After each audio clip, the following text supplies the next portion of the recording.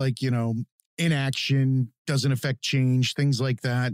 Um, I say it to all the people that come on, especially my creators, you know, the creative academics when you come on here.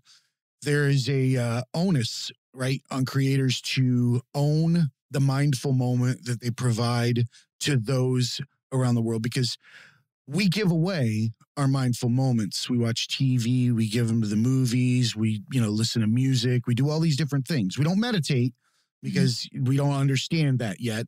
So we give it away. So what does that mean? The creator that's creating from the heart has to create something that is going to move society forward in the direction that it needs to go because creators write the future. We need to Mhm. remember that creators write the future. We've done everything that we've put pen to paper, video, music, whatever weird ass contraption we're flying across. We're doing everything. So we write our future. We got to